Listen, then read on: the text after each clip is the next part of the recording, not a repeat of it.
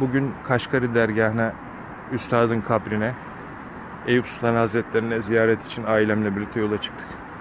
Her zamanki gibi günlerden çarşamba. Aileme ayırdığım bir gün bugün. Fakat beklediğimden çok bereketli, huzurlu geçti. Hamdolsun. İlk olarak Eyüp Sultan Hazretleri'ni ziyaret ettikten sonra benim de üstadım olan Necip Fazıl'ın Kısa Küreğin kabrine geldik. Evet burada Seyit birisi yatıyor. Yine Seyit Cemalettin Arvasi Hazretleri'nin kabri de burada. Yine kızı Ayşe ablanın kabri de burada.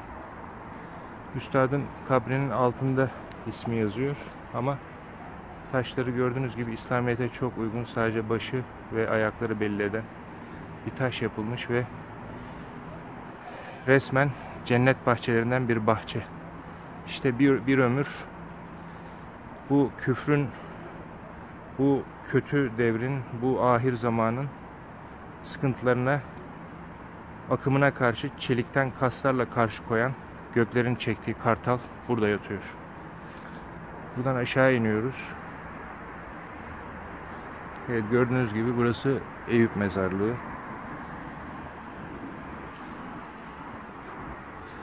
Hatice Kübra kızım nöbette bugün 112 acilde. Doktor biliyorsunuz. Fatma Serra kızımla birlikte, eşimle birlikte buradayız ve burada çok enteresan. Ben bilmiyordum, bugün karşılaştım. Salih Mirza Beyoğlu'nun kabriyle. Salih abinin kabri de burada. Evet şöyle göstereyim. Salih Mirza Beyoğlu. Üstadın onun için söylediği cümleyi yazmışlar buraya. Cumhuriyet sonrası kavruk nesillerin ilk ciddi fikir sesi ve ilk çileli nefs murakabesi diye bahsettiği ve Salih Mirza Beyoğlu senelerce biliyorsunuz hapislerde süründü ve 60 küsur yaşlarında da vefat etti. Son herhalde 3-5 senesini dışarıda geçirebildi. Hayatı çilelerle geçti ama karşılığını gördüğünü biz kabrinden de anlıyoruz. İşte cennet bahçelerinden bir bahçe kabri. Üstelik de üstadımın yani onun da üstadının ayak ucuna defnedilmiş. Ne kadar nasip, ne kadar bereket. İşte bir ömür boşa geçmemiş, ebedi mutluluğa dönüşmüş. Buradan tabi burada isimlerini görüyorsunuz. Üstadın aile kabristanı, Fevzi Şakman kabri de burada. Cemalettin Arvasi Hazretleri'nin kabri de burada. Ayrıca e, burada da evet mütefekkir Salih Mirza Beyoğlu'nun kabri var. Şehnaz Hanım Kaşgarı dergahına çıkabilir miyiz? Burada çıkarken tabi burası karanlık. Flash açık olduğu için aydınlık görüyorsunuz. Burada benim aklıma Üstad'ın Kaldırımlar şiiri geliyor. Hepinizin bildiği. Sokaktayım kimsesiz bir sokak ortasında. Yürüyorum ardıma bakmadan yürüyorum.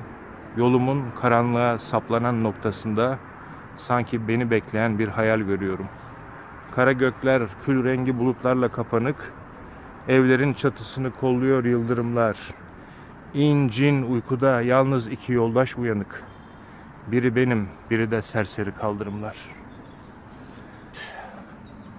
Tabi üstadın bunun dışında bir de aklıma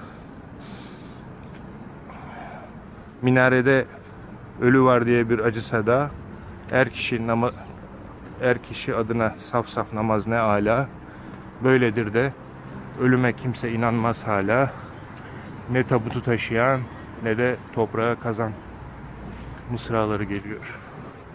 Hep Pierre Loti'ye giden yolda Kaşgarı dergahına doğru sapıyoruz. Kaşgarı dergah benim için o kadar büyük anlamlar içeriyor ki bunları kelimelere dökmem çok zor. Abdülhakim Ervasi Hazretleri'nin Kutuse Suru Efendimin, Efendimin son yüzyılın yenileyicisinin son zamanlarında ders verdiği ve bulunduğu yer burası. Üstadın Efendi Hazretleri ile sohbet ettiği yer. Burası avlusu. Evet, bur- burada kabirleri görüyorsunuz.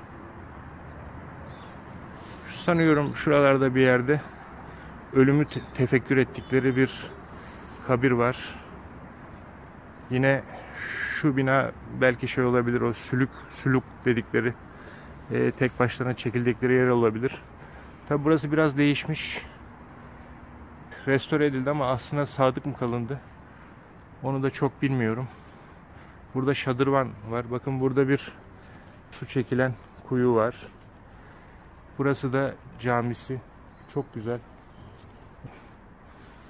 Ki Efendi Hazretleri ile Üstad burada sohbet ediyorlardı. Allah dostunu gördüm bundan 33 yılı evvel öyle bir andaki zaman donacak kadar güzel. Buradan giriyoruz. Akşam namazını kıldık burada ailemle birlikte. Evet, kısaca göstereyim.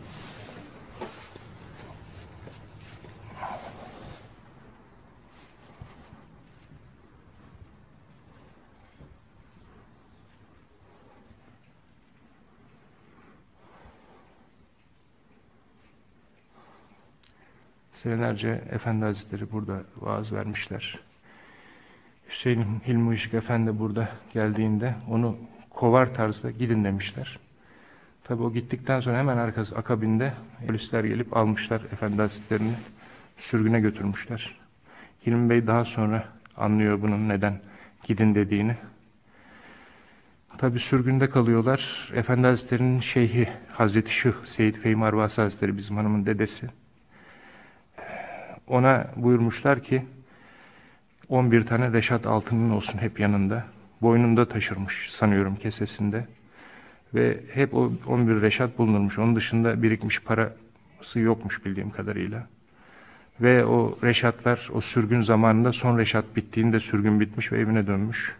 Tabi Ankara'ya dönüyor ve Bağlum'da defnediliyor.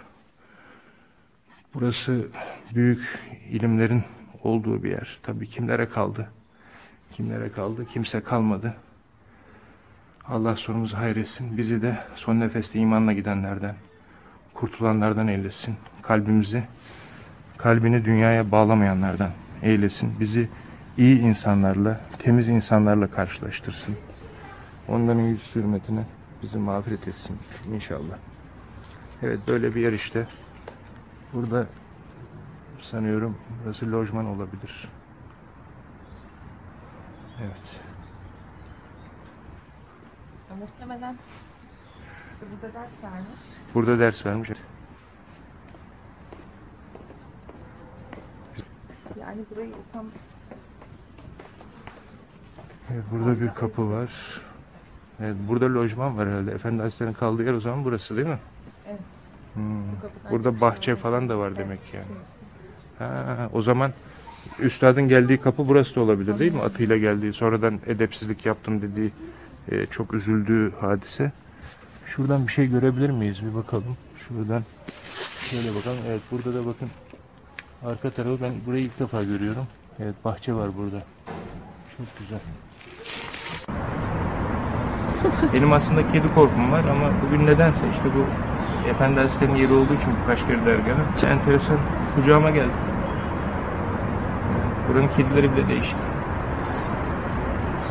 Burası çok güzel bir yer. Canlarım.